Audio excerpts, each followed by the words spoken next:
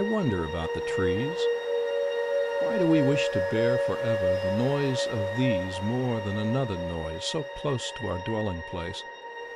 We suffer them by the day until we lose all measure of pace and fixity in our joys, and acquire a listening air.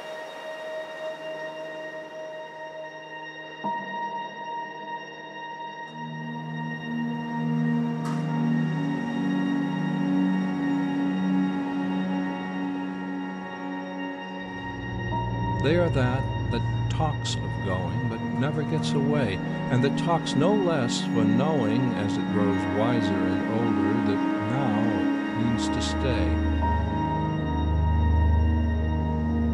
My feet tug at the floor, and my head sways to my shoulder sometimes when I watch trees